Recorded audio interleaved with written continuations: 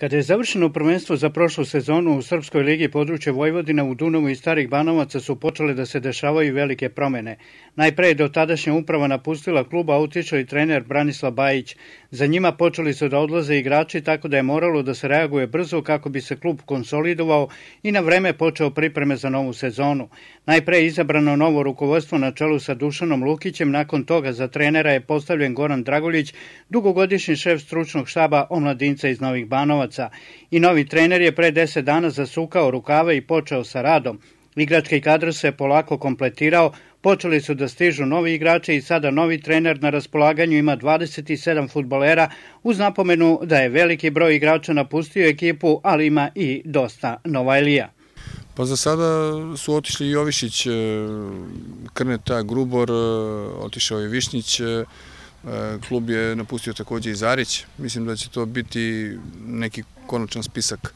Što se tiče Novajlija, Ono što smo uspeli za sada da angažujemo, to je iz omladinca iz Novih Banovaca smo doveli golmana Čirovića i Despotovića, sa njima zajedno došao i Mirosavljević, E, tu nam je Petić koji je došao iz Zlatibora, e, Mirčetić sa kojim još uvek, uvek pregovaramo, ima tu još par momaka koji su, koji su na, na probi.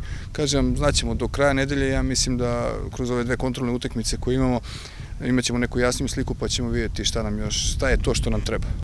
Prvom timu priključen je jedan broj mlađih igrača, od kojih treba pomenuti veoma talentovanog Zorana Stojedinovića, koji ima samo 15 godina, već je debitovo za prvi tim na utakmici protiv Radničkog i od njega se u budućnosti očekuje dosta. Dunav je već pet godina srpsko ligaš i uvek je bio u gornjem delu tabele. Novi trener Draguljić kaže da se u tom pogledu, kada su ambicije u pitanju, ništa neće menjati. Verujem u ove momke, verujem ono što radim, tako da smatram i sigurno na neki način da ćemo se boriti ako možemo za taj gornji deo e, tabele, mada ove godine po meni, barem po ovome što za sada vidim, ima 3-4 ekipe koje se izdvajaju po kvalitetu i koje dosta ulažu ovog leta i verovatno će te ekipe predvođene pre svega Bačkom e, Topolom. Vidim da su Sakule dosta jake, zatim e, ekipa Bratstva iz Prigrevice koja dosta uložila i pravi jedan izuzetno kvalitetan tim.